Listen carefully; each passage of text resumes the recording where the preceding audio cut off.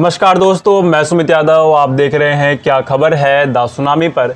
एक बार फिर मौजूद हूँ आप सभी लोगों के साथ, आज के अखबार के साथ। जनसत्ता आज मेरे हाथ में है और क्या खबर इसमें छपी है, वो मैं आपको बताने की कोशिश करूँगा।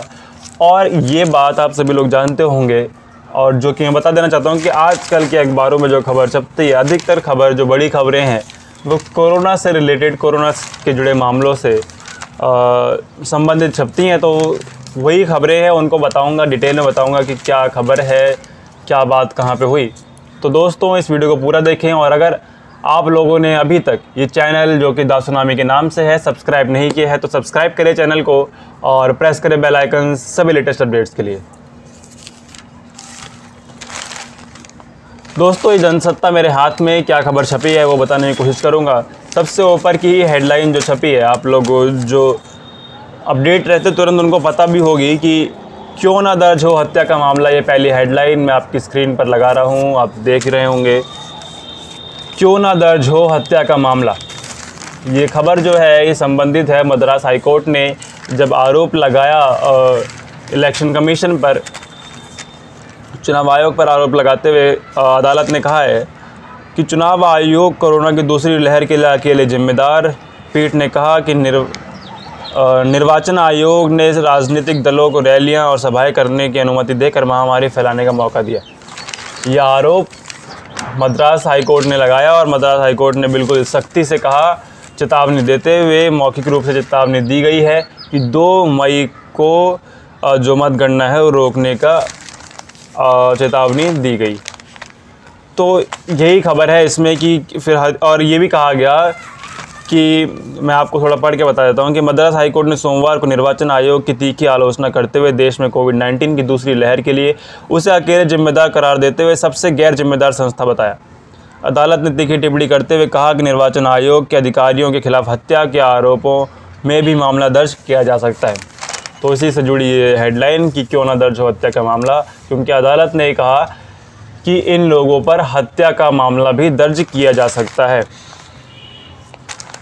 तो ये खबर है, चुनाव आयोग पर, लगातार चुनाव आयोग पर इससे पहले भी सवाल उठ रहे थे, चाहे ईवीएम की बात हो, चाहे और तमाम चीज़ें हो, क्योंकि जिस तरीके से रैलियाँ हम वेस्ट बंगाल में देख रहे थे, चाहे ममता बनर्जी की रैली हो, चाहे प्रधानमंत्री मोदी या अमित शाह की रैली हो तो रैलियाँ जिस तरीके से हम देख रहे थे कोरोना और आज की अगर आप खबर देखें अखबारों में तो कोलकाता में हर दूसरा बंदा पॉजिटिव पाया जा रहा है तो ये खबर है कोरोना की वेस्ट बंगाल में इस समय क्योंकि रैलियाँ इस तरीके से की गई और प्रधानमंत्री मोदी कहते हैं कि वह क्या भीड़ है।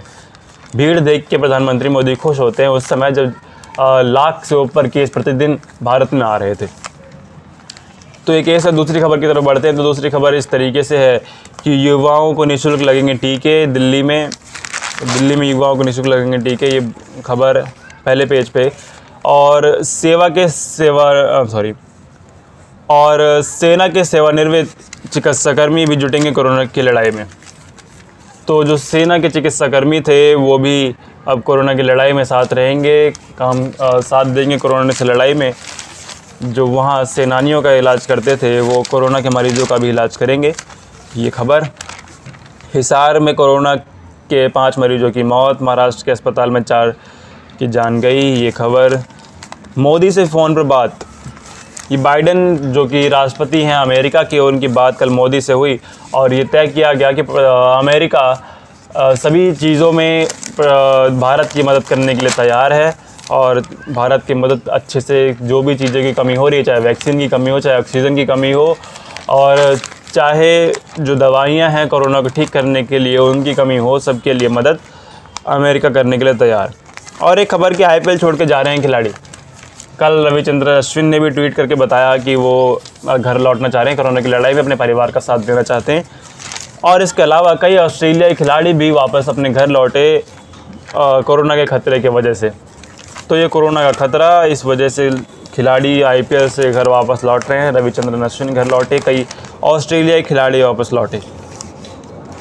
और इसके अलावा अगर मैं किसी बड़ी खबर की बात करूँ, अधिकतर बड़ी खबरें जो होंगी वो कोरोना से जुड़ी होंगी। इसके अलावा कोई खबर इसमें देखने को मिलती नहीं।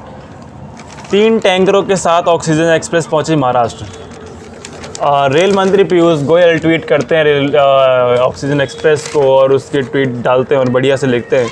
लेकिन जब हम ये देखते हैं, तीन टैंकरों के साथ ऑक्सीजन एक्सप्रेस पहुँची महाराष्ट्र और अगर मैं आपको बताऊँ तो ये केवल चवालीस टन, चवालीस मैट्रिक टन जो ऑक्सीजन पहुँची है महाराष्ट्र। एक दिन की भी ऑक्सीजन नहीं है एक दिन भी पूरी नहीं चल पाएगी। आप ट्रेनें चला रहे हैं, वाहवाही लूट रही हैं कि हमने ऑक्सीजन एक्सप्रेस चला दी, लेकिन ऑक्सीजन क्या पहुँच पा रही है अब भी? कितने राज्यों में ऑक्सीजन आप पहुँचा पा रहे हैं इस तरीके से? और क्या तीन टैंकरों से, यानी कि चवालीस टन, तीन टैंकर की बात अगर हम छोड़ दें, चवालीस टन मात्रा अगर मैं बताऊँ, चवालीस टन अगर ऑक्सीजन पहुँचती है तो उससे एक दिन का भी काम नहीं चलता है। इस तरीके से ऑक्सीजन पहुँच रही है और आप फिर मन की बात में कहते हैं पाँच सौ इक्यावन और ऑक्सीजन प्लांट बनाएँगे। इससे पहले एक सौ बासठ प्लांट बनाने का दावा किया गया मात्र और मात्र तैंतीस प्लांट जो है वो इंस्टॉल हो पाए हैं अभी तक। आप पिछले एक कंप्लीट नहीं कर पाए आप एक सौ इक्यावन का दावा और कर रहे हैं। तो फिर सवाल उठना यहाँ पे शुरू होते हैं कि आप ट्रेनें चला रहे हैं, लेकिन सिर्फ़ तीन टैंकर लेके ट्रेन जा रही है। अगर कहीं ट्रेन जा रही है तो कम से कम एक हफ़्ते का उस पर सामान हो एक हफ़्ते की ऑक्सीजन हो ताकि एक हफ़्ते तक कम से कम काम चल पाए।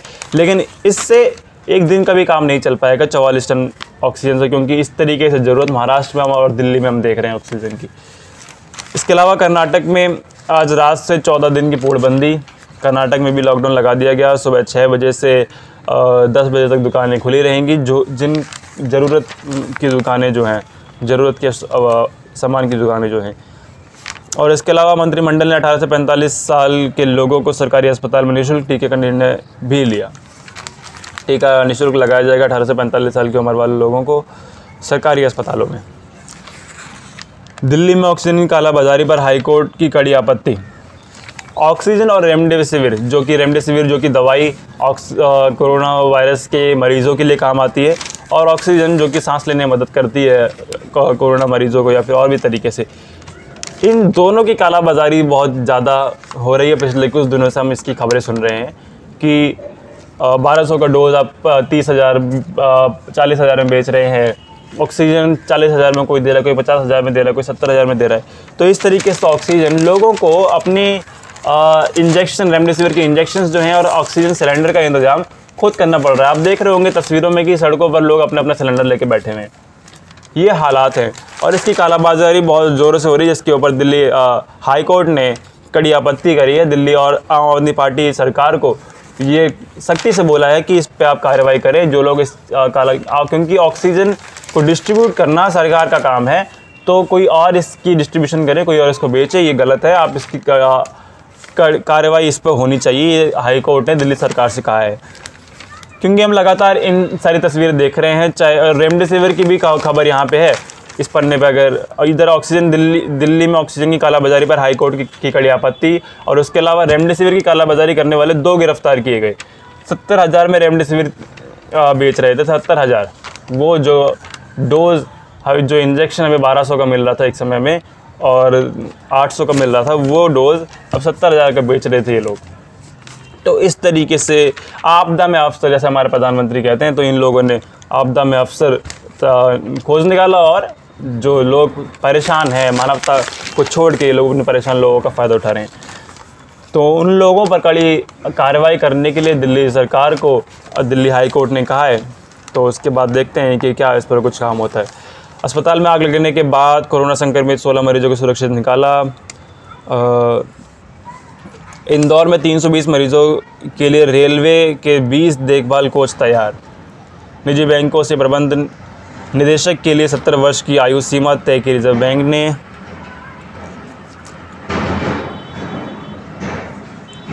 इसके अलावा राजधानी में सामने आए संक्रमण के बीस हज़ार दो सौ एक नए मामले।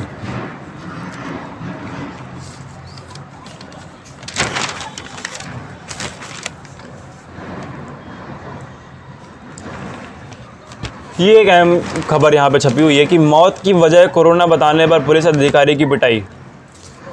क्योंकि इससे पहले भी कई आपने खबरें सुनी होंगी इस तरीके से कि अपने आपने अपने किसी परिवार वाले को जमा कराया, किसी परिवार वाले को भर्ती किया, अस्पताल में उसके बाद उसको बीमारी कुछ और थी, उसके बाद उसको कोरोना बताकर डेथ सर्टिफिकेट दिया गया कि ये कोरोना का मरीज़ था।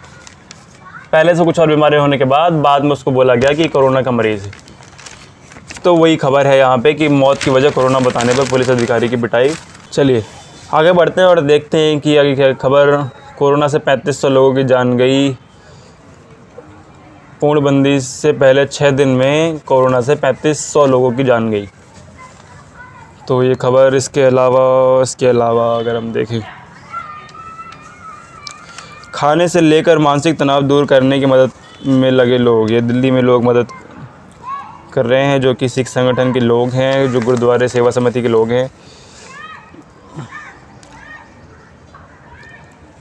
दिल्ली के बंगला साहिब गुरुद्वारे में कोरोना के कारण घर में एकांतवास कर रहे लोगों के लिए तैयार हो रहा भोजन। ये तो हम खैर सदा से देखते आए हैं कि गुरुद्वारे में किस तरीके से लोगों को खाना खिलाने का काम बंगला साहिब में रोज़ होता है।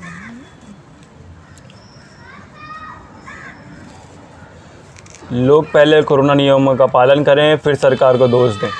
ये एक बहुत अहम बात। खैर, मैं गाइडलाइंस पे सदा, हमेशा सवाल उठाता रहा हूँ कि गाइडलाइंस किसके लिए हैं? आम पब्लिक आम जनता के लिए या फिर सभी लोगों के लिए? तो अदालत ने ये बात कही है बाकी काफ़ी सख्ती से कही है कि लोग पहले कोरोना नियमों का पालन करें, फिर सरकार पर दोष दें। क्योंकि लॉकडाउन लगाया, केजरीवाल दिल्ली सरकार ने छः दिनों का उसको बढ़ाकर एक हफ़्ते का और कर दिया है। लेकिन लोग बाहर निकल रहे हैं, लोग आ रहे हैं, जा रहे हैं। केवल दुकानें बंद हैं और कई दुकानें खुली भी हैं, लेकिन ज़रूरत की दुकानें खुली हैं।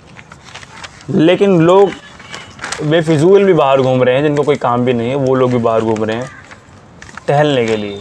तो वो घर में रहें, मास्क लगा के रहें, सैनिटाइज करते रहें तो पालन करें सारे गाइडलाइंस का। और इसके अलावा अगर मैं आपको बात करूँ तो मैं सारी खबरें बता चुका। तो दोस्तों, आज के एक बार में इतना ही। आईपीएल की पीछे खबर कि कल के मैच में क्या हुआ, वो भी मैं अगर मैं आपको बता दूँ कि कोलकाता ने थोड़ा हार का क्रम। कोलकाता लगातार हार रही थी, पाँच में से केवल एक मैच जीती थी, लेकिन कल के मैच में पंजाब को हरा कर दूसरी जीत कोलकाता ने हासिल करी है। तो वही बात, वही खबर है कि कोलकाता ने थोड़ा हार का क्रम। तो यही खबर है। इसके अलावा दोस्तों, अखबार में इतनी खबर। मिलेंगे कल। अगर आपको वीडियो अच्छी लगी तो लाइक करें शेयर करें, ज़्यादा से ज़्यादा लोगों तक शेयर करें। पहुँचाएँ ये वीडियो। आप लाइक करेंगे, आप शेयर करेंगे, आप सब्सक्राइब करेंगे, तभी हौसला बढ़ेगा ताकि मैं रोज़ आपके पास आ पाऊँ, रोज़ मैं ये अखबार आपको बता पाऊँ कि अखबार में क्या छपा है और थोड़ा टाइम से आ पाऊँ। तो शेयर करें लाइक करें सब्सक्राइब करें। मिलेंगे अगले वीडियो में। तब तक के लिए खुश रहें, स्वस्थ रहें। नमस्कार।